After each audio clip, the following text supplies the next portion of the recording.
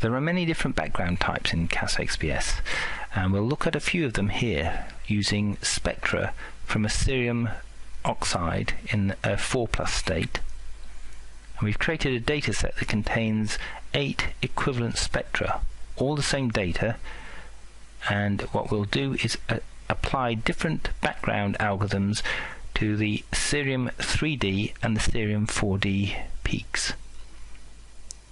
These are good examples because these are non-trivial peak structures, so they represent a challenge to most backgrounds, and we'll create a display so we can see these peaks clearly when we apply the different backgrounds.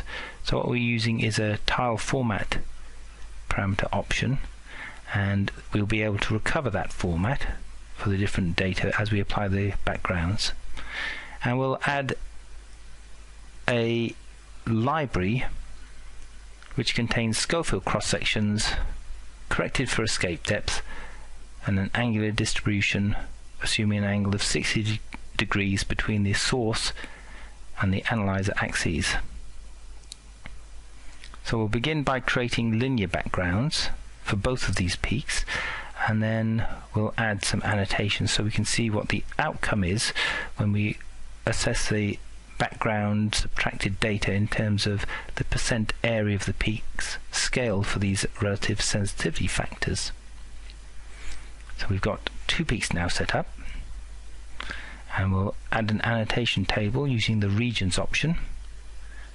And we'll just move this so that we can see it clearly. But the outcome should be for this annotation table about 50-50 and that's what we've got for this linear background. So we'll just propagate these so that we've got the, uh, a basis on each one of these VAMAS blocks for changing the backgrounds. And this means that when we begin each VAMAS block will have a linear background. So we select one, Control Z will display it. And if we enter Shirley that gives us a, the view of what Shirley might do for these cerium peaks. And the next one we'll do a Tougaard background. And the Tougaard background again is not perfect. Go back to the linear and then we'll enter a U2 Tougaard background. And we'll use a slightly different value in the U2 and they produce different cross sections depending on the value for the second parameter and we'll do another one with a slightly different parameter. This one is going to be uh, minus 350 and the result of that will be, as you can see, that the background sucks closer to the data. Now what we'll do is look at an alternative form of the Shirley background, which is an iterative Shirley background where we can alter the number of iterations used in the calculation of this Shirley background and it starts off cutting through the data. When you limit the number of iterations you can stop the background from cutting through the data but it's probably still not correct.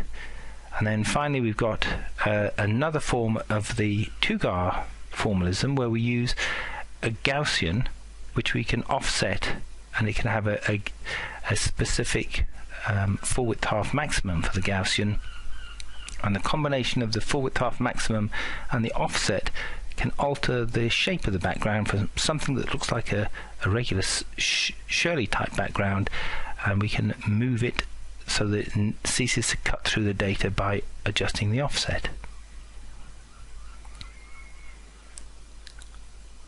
Now the important thing is to always use the same background for both sets of peaks so that we're measuring like for like and then finally we'll introduce uh, another background called a, a, curved background but this is really a, a background that is smooth from the data and the number of smoothing operations and the size of the kernel used in the smoothing this is what determines how much shape there is in the background. And what we can do is obtain something that looks more like an approximation to a linear background with a little bit more shape